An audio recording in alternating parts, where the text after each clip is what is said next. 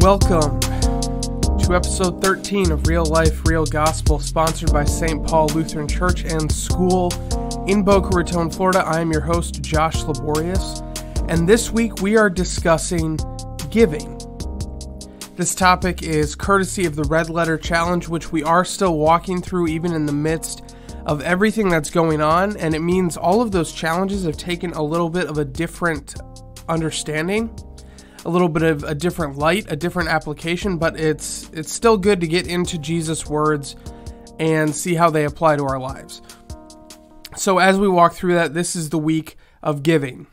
Now, normally, in case this is your first time listening to the show, normally we would get our topic from one of you, the listeners, either commented on YouTube or Spotify or whatever medium you're listening to this on or emailed to me directly. And I take up that topic, and uh, my goal is to take topics in real life that people struggle with every day and to look at what the reality of being a Christian in that situation, in that reality is. So, I, I, try to avoid theological and academic language because I want this to be a very practical podcast. Um, so, that's no- normally how we get topics. We have one more week of the Red Letter Challenge, and then I will be back to that. So if you have topics, please submit them, get them in, so that so that I have those and we can go forward discussing those. But this week we are talking about giving. Um, it is always tough to talk about giving. So that statistic of of the population that actually gives money to charity is down to like 53% according to Market Watch. That's less than ha- or that that's just over half of the population that actually gives to charity. So, as far as things that are difficult for us to hear, things that are convicting, a lot of people who hear this, a lot of people who I can assume I'm talking to don't give to charity. And it's it's difficult because we think our money is ours and we have that understanding of it's not really a gift from God, we earned it so we don't we, we want to keep what's ours. We want to use what's ours for the things that we want to do. And it's it's really difficult to ask because there's always this suspicion in the back of our mind is is someone telling me to give just because they want my money? Are they telling me to give out of selfishness themselves? So I, I know that's like a sneaking suspicion. I, and I know growing up, if I heard someone preach about giving more to the church, there there was always that suspicion. Are you just saying this because you want more, or or is this genuinely a call to generosity? So, what I, I want to start is I, I want to address and speak that suspicion even whether it's conscious or not, I want to speak that out loud so that I can address it. In that, uh, my goal in this podcast is not to get more for myself. It, it's not. It's not to somehow encourage more giving, even to St. Paul, uh, the church that is sponsoring this podcast. But it, it is to speak to what is generosity? What is the biblical instruction and example and reasons for giving? So that is is why I'm going forward, and that is the motivation here. And I have done my best to remove all sort of selfish motivations from this. I obviously may have some of those that I can't do anything about, but I, I have done my best to prepare this in such a way that it is it is the scripture speaking and not necessarily me speaking. And that's what I want to start with, and that's what I want to clear this out. And you may ask, well, again, why does this matter? Why is it worth talking about? Why is it worth listening to? The first reason is that it's called for again and again and again by Scripture. Scripture talks about money a lot, it talks about giving and generosity a lot, so we're going to talk about it. Uh, another reason that it, it is worth talking about, that it matters, is because this is this is my effort to try and help contribute to some sense of normalcy. to keep the podcast going, to keep it in line with the Red Letter Challenge, and to keep it coming out on Thursdays. So um, that's a little bit of a, a, different kind of reason. And then um, another reason that I think it matters is because in times like this, when we're struggling, when we're struggling as a society, I think there are two reactions frequently. Um, there are reactions that are let's circle the wagons, let's take care of ourselves, um, and kind of that tightens our grip on on money and on other things in our life. And then there's the other reaction of look at how many people are in need. I'm not going to worry about myself. Let me help them. So I think even especially in a time like this, we're going to talk about generosity and giving because now can be the hardest time, but it can also be some of the most impactful time for us to be a, a people of generosity. So to start with that, uh, this this is real giving, real gospel, hosted again by me, Josh Laborious, and as we begin this discussion about what is the biblical take on giving, and what is the what is the faith? What is our faith? What does our God have to say about this? I want to start in Exodus. And I want to start in Exodus 35. Verse 29 says, All the men and women, the people of Israel, whose heart moved them to bring anything for the work of the Lord, uh, the work that the Lord had commanded by Moses to be done, brought it as a free will offering to the Lord. So to explain, because I, I took a verse out here, and generally I don't like doing that because it's really e- if you're just reading one verse, it's really easy to have it out of context. But for me to actually capture the context, I would have had to read like 20 verses to you, and I didn't want to take that much time. So I thought I'd summarize the context that precedes this and then read this kind of key verse in my view. Um, beforehand, the Lord is talking to Moses, and the Lord is outlining everything that is need, that needs to happen for the temple to be built, for the tabernacle to be built, for the priests to, to have their ceremonial clothes, and all of the things associated with that. He talks about labor, he talks about materials, he talks about all of kind of the logistics of that. And then it goes from the Lord telling Moses to Moses telling the people here's what we need to do. Here's what God has commanded us to do. And then the pe- and then right before this verse, you see the people in every instance stepping up and and giving of free will. There was there was no mandate. Everybody has to give this much. People just came and gave what they could for the glory of God, for the tabernacle, for the priests. These are people of every level of society, and this is all out of generosity not obligation. And that's kind of what I want to key in here is that a lot of people will point to the Old Testament as here's where some of the commands to give are the commands to tithe, the guidelines for that. But what I want to key in here is there's this idea in the Old Testament of of generosity, not obligation. And one of the first points to draw from that is that God's word leads to generosity. This is a uh, generosity is a virtue. It's it's like patience or kindness. Um, so why why are we patient? Well, because we should be. Is there any other reason? Not really. Why are we kind? Why are we good? Why are we name the fruit of the spirit you want to talk about? We do the we we we do our best to be virtuous just for the sake of the virtue because it's something that God has told us is good. And I think it's kind of weird that we treat generosity any differently because it is a virtue.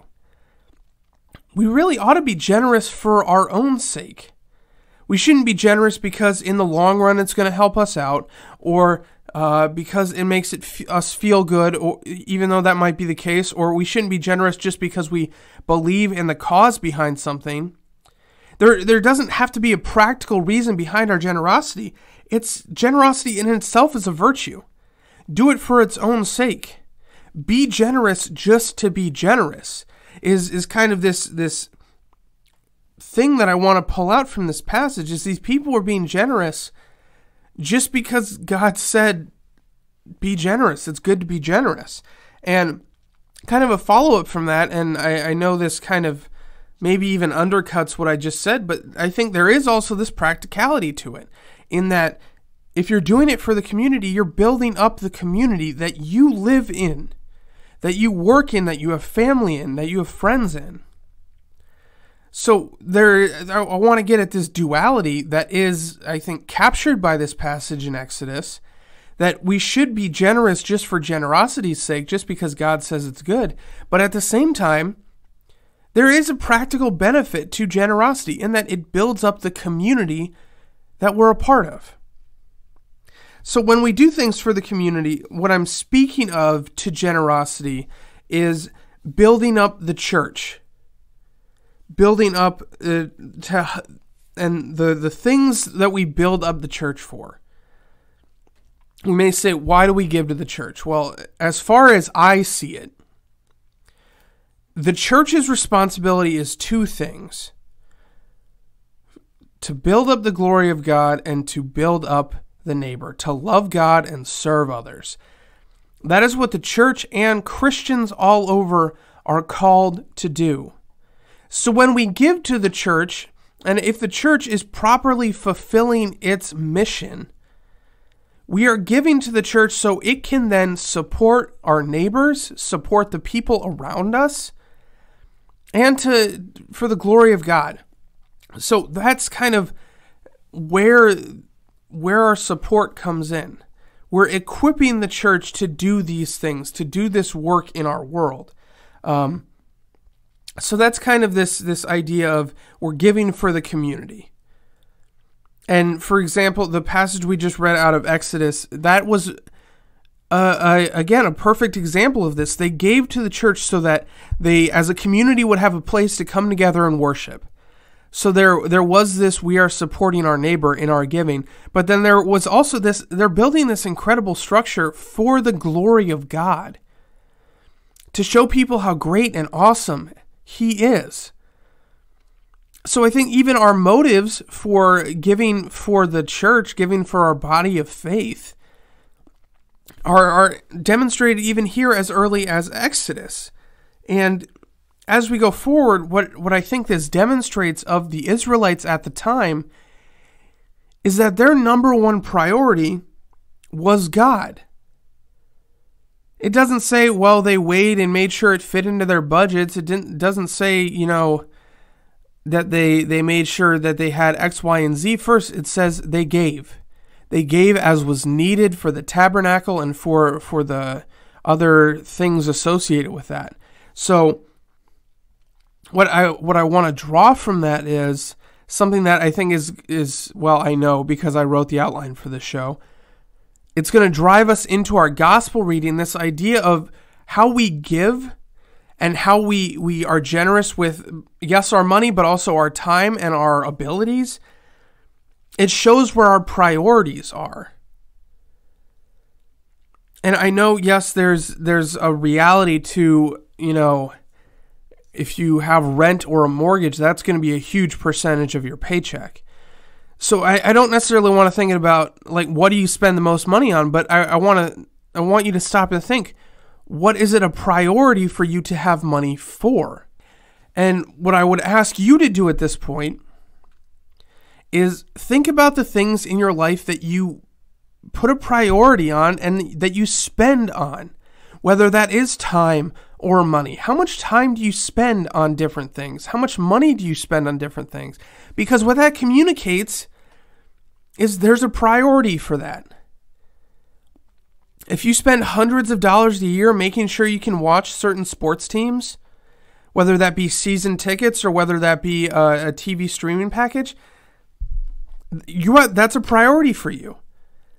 And the flip side, the reflection part, the law part of this is how much of a priority do you have on your faith, on the church that you go to?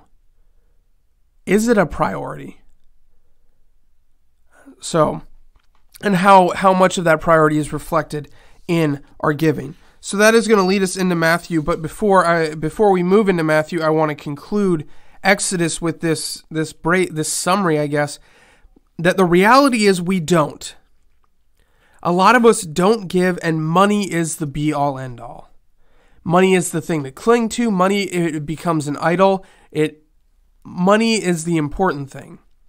And using the money exactly how we want to use it is the important thing. It's selfish. We think it's ours. And that is the law here. But the gospel is that God forgives us and he does work through what we do give. God doesn't need us to do his work.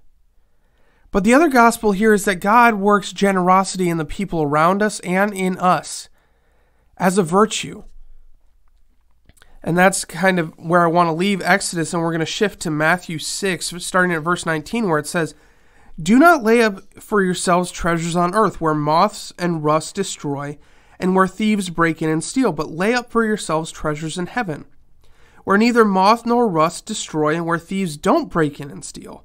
For where your treasure is, there your heart will be also. The eye is the lamp of the body, so if your eye is healthy, your whole body will be full of light. If your eye is bad, your whole body will be full of darkness.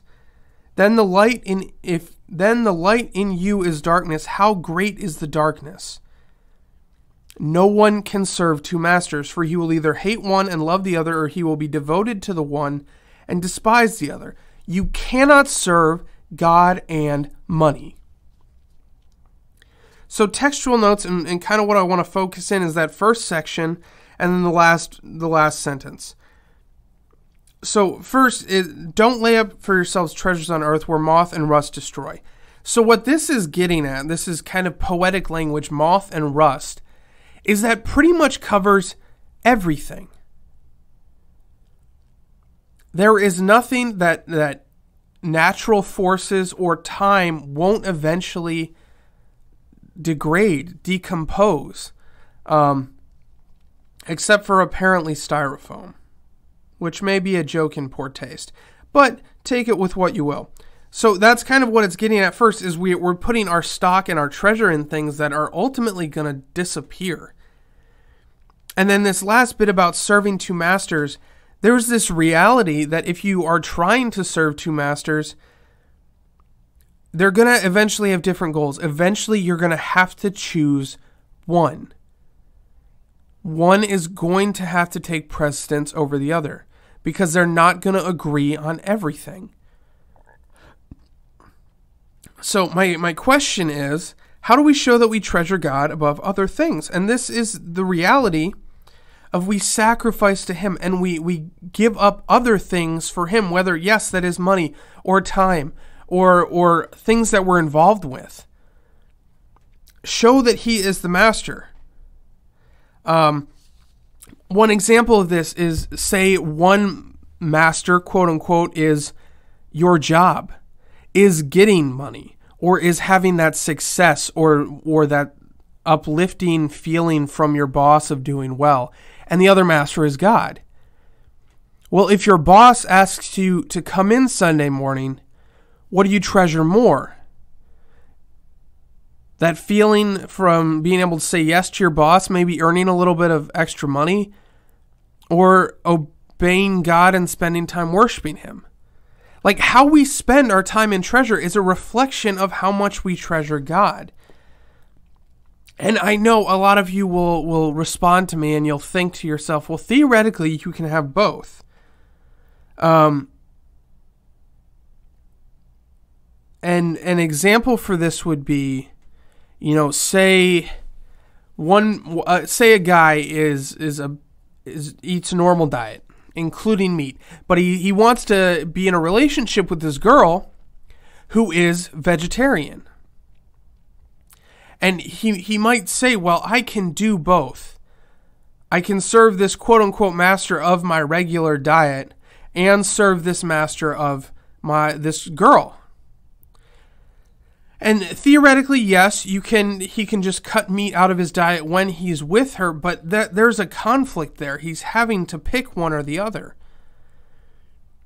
So he's either going to have to sacrifice his relationship with this girl for his diet, or he's going to have to sacrifice part of his diet for the girl. And I know that's kind of a silly example and it is a little bit of a stretch, but I think that's how we we show that we treasure God that he is our priority. We give up those things that help us to be in a better relationship with him. Make God the priority. And it's at this point where I am going to draw us back into finances because honestly, that is going to be a little bit of a focus. It has been so far. It will be as we continue, because I think that is the the primary way that we give, especially in a time where we can't really give as far as time because we're all supposed to stay at home.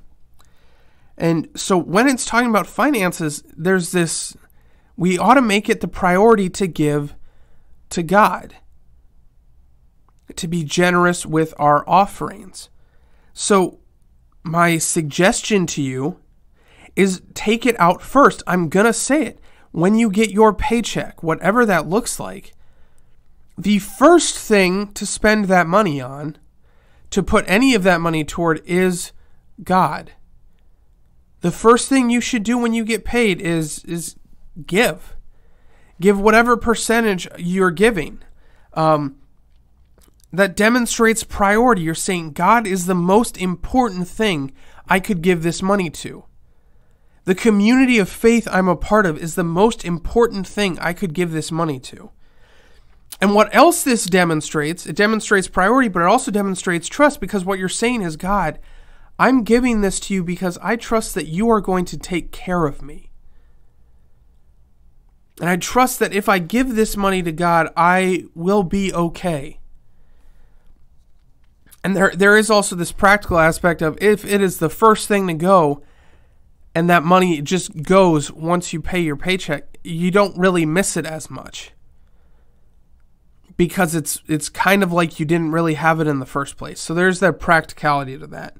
Um, and that's all what we're pulling out of Matthew. This idea that we're, we're not to lay up treasures for ourselves on earth. That's not where our priority is and we can't serve two masters. We can't serve this this desire to have money, to to get more money, to to use money exactly how we want, and serve God. One has to take priority. So this reality is we we have this desire to keep what is quote unquote ours, even though it is a gift from God. And we, we frequently do serve money. We do everything we can to get more of it. We work extra hours. We work extra hard. Frequently, I, I played tennis with this gentleman once, and he told me he was studying computers. And I was like, oh, I, I loved studying computers. I, I minored in minored in it in undergrad. And I asked him, so what got you interested in computers? And he said, because I can make really good money.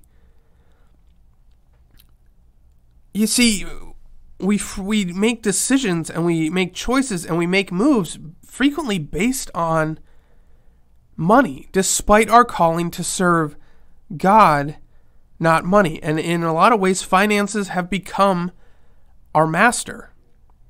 But the, the real gospel here is that Christ gave up everything for us. He didn't store up treasures in this earthly life, He gave up everything for us.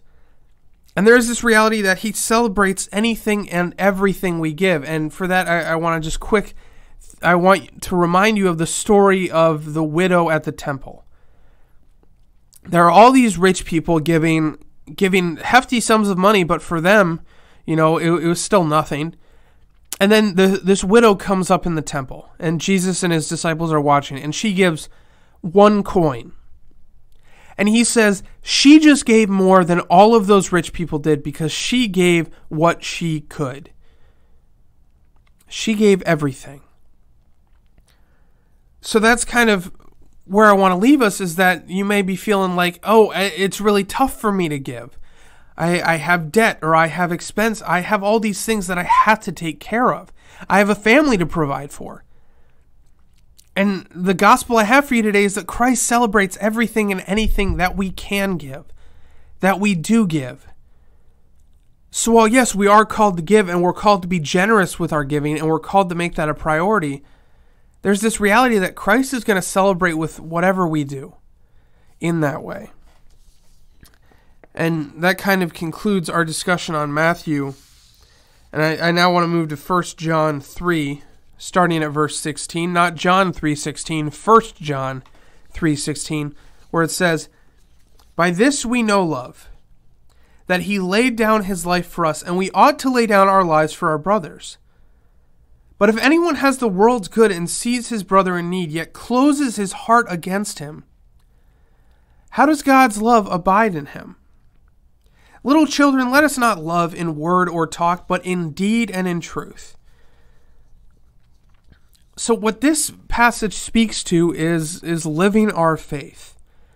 If we see the church struggling, if we see our neighbor struggling, we are called to step into that, to show them love, to build them up. And I think this is when this podcast becomes incredibly relevant to the time that we're in right now. As people are losing their jobs and people are struggling and people can't work like they would. And we have this temptation to draw into ourselves to say no i need to i need to buy all that toilet paper in case i need it i need to hoard this stuff i need to hold on tight to all of my money because i might need it and what this passage says is no if God's love abides in us, and we have goods, we have money, and we see our brother in need, we should be giving to them. And yeah, that might be sacrificial, but we're called to follow Christ's example. And that's why this passage starts with uh, talking about how Christ laid down his life for us. And we ought to lay down our lives for our brothers. So even if we have to suffer a little bit to support our neighbors in need, we're called to do that anyway. We're called to love in deed and truth. We may say we love our neighbor, and we may strive to speak that way and to feel that way, but this is a call to live it out. Because the reality is, talking is easy, but giving is hard. And I think it's that's really true right now, but we're called to live generously to live in that way. So, what I want to conclude this section is on the gospel that God will take care of us, that God did lay down his life for us, that God's priority is us, and that he has a love for us that abides and that is lived out. So, uh, this podcast might have made you feel uncomfortable. It made me feel a little uncomfortable talking about it at certain points. But the conclusion, the summary of this is that there is an inescapable call and command through Scripture for us to be generous, for us to give, even give sacrificially, to make giving to the church, giving to our neighbor a priority for the glory of God and for love of neighbor. So there, there's this very hard law there. There's this call to do that. But in almost every place we see that, we also see this incredible gospel of God appreciating our efforts, even when we fail to give, even when we don't give as much as we could or we should. Christ works through that, and He loves us regardless. We don't have to pay for our forgiveness. We don't have to pay for Christ's love. That is a given. That is a gift to you and I. We don't have to earn it. So if you walk away from this podcast with anything today, what I want you to walk away with is to look for ways in your life to be generous and to show love in deed and in truth. And the second thing I want you to walk away with is that God will work through whatever you can give Him. And that He loves you no matter what, you are forgiven no matter what, and you are a part of the body of Christ no matter what. So that's where we're going to leave this episode Real Giving, Real Gospel.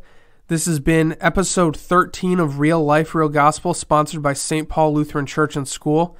We are available on YouTube, which you can find really easily if you just search St. Paul Lutheran Church and School in Boca Raton, Florida. It's one of the first samples that comes up. The podcast is on there. It's also on Spotify, on Podbean, on Google Podcasts, and on iTunes. So, however you want to listen to it, we are available for you. We release on Thursdays. Feel free to subscribe. If you have topic suggestions, please send them my way. Brothers and sisters, with that, go in peace, serve the Lord. Thanks be to God.